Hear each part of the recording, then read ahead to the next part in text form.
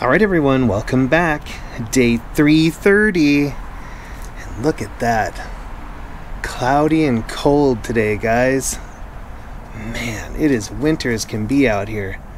But I hope you guys are having a great day. And don't forget to get out and get your steps in, even if it's cold. I know you guys can do it.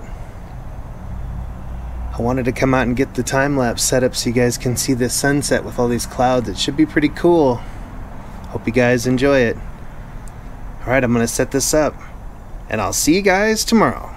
And we'll do it again.